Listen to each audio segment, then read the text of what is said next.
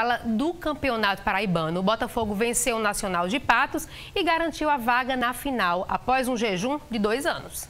O Belo começou a partida com a proposta de acelerar o jogo. Aos cinco minutos, o time alvinegro chega pela esquerda, mas o chute cruzado para nas mãos de Luiz Miller. O Nacional fez um verdadeiro ferrolho, dificultando o toque de bola do Belo. Se de perto estava difícil, Alan Grafite mostra como se faz. O atacante do Botafogo acerta um lindo chute de longa distância e abre o placar.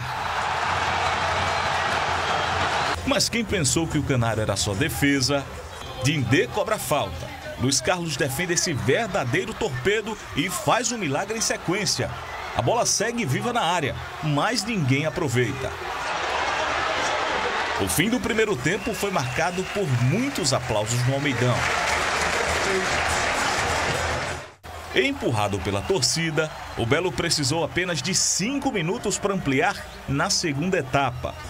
A cobrança de falta vai na cabeça de Bruno Ré, que faz a festa da torcida. E quem achou que o terceiro do Alvinegro estava maduro, olha esse lance aí.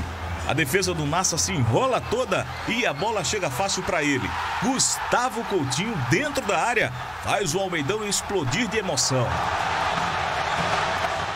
O Nacional foi pro tudo ou nada no fim da partida, mas a defesa do Belo suportou bem. Apito final e festa no Almeidão. O Belo está de volta a uma final depois de dois anos e, de quebra, garantiu uma vaga na Copa do Brasil em 2023. E o jogo que vai definir o adversário do Belo acontece daqui a pouco no Amigão. Campinense e Souza brigam pela outra vaga da final. Vamos saber, viu?